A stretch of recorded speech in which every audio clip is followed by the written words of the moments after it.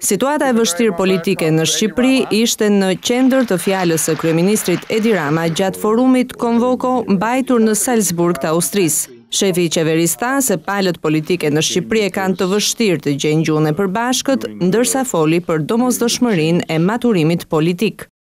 We have a very tough political life. Ne kemi një jetë shumë të vështirë politike. Besoj fort se cilësia e demokracisë e të bashkëjetuarit nuk varet nga sa shumë biem dakord, por nga mënyra se si nuk biem dakord. Ne nuk biem dakord as për kohën. Duhet të piqemi sepse demokracia nuk është e thjeshtë. Rritja, maturimi janë pjesë e këtij tranzicioni të dhimbshëm dhe Europa është shumë e rëndësishme.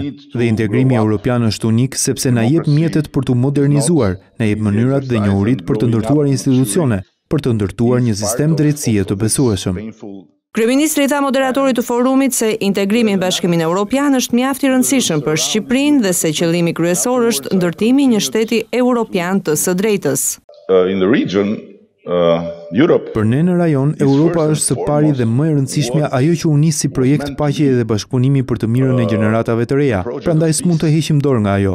Megjithëse Europa nuk po shkon mirë, ne përsëri e duam. Nuk është se duam të bashkohemi me Europën e t'i shtojmë kokëçarje drejtuesve të saj që me sa duket janë lodhur me disa vende që kanë ardhur së fundmi, por duam të ndërtojmë një vend europian dhe një rajon europian me institucione dhe shtet të së drejtës dhe demokraci funksionale. E ka vetëm një mënyrë për të arritur këtë, me Europën. Së drejtës. Në përfundim, Rama foli mbi artin, letërsinë dhe kulturën.